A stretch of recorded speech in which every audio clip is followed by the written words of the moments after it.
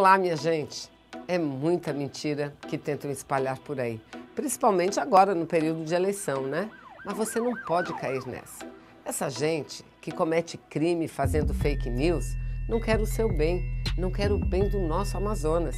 Olha, tem candidato por aí mentindo, dizendo que eu sou ficha suja. Mas eu pergunto, como é que eu posso ser ficha suja se eu nunca fui processada, se eu nunca fui condenada por nada, seja por improbidade ou por qualquer outra ação criminal? Mentiras levianas fazem mal.